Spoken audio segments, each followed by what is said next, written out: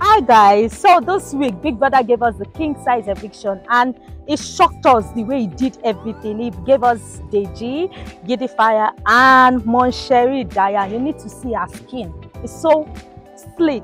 So today I asked them, I asked them Diana, who didn't she connect with in the house? And I also asked Giddyfia, since he had lots of women surrounding him, who was his favorite? And I asked Deji, if it wasn't a fake housemate, what would he have done differently? And I also added a little spice to it. I asked him, who would he choose outside the house? And you know what?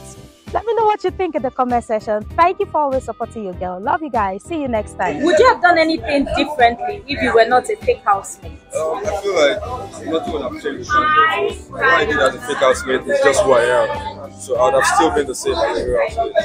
Okay, so um, outside the house, who would you have chosen? That's a tough question, but I feel like regardless, we just love a chichi to be honest. But she's actually very sweet, so yeah. And you had lots of women in your corner. Who was your favorite? He says lots of women in my corner. that question, if you put, if you throw person for ground. But yeah, I won't lie, I really didn't have like a favorite. Anything was not like relationship, relationship, and all that. do. But with Rachel, I feel like she was really a good friend to me. So I'd say, yeah, sometimes because of the loyalty that was there and all that, really got me attracted to her and all that. Then, Yeah. who was that housemate that you didn't connect with in the house? Sheggz. I love your skin. Thank you so much.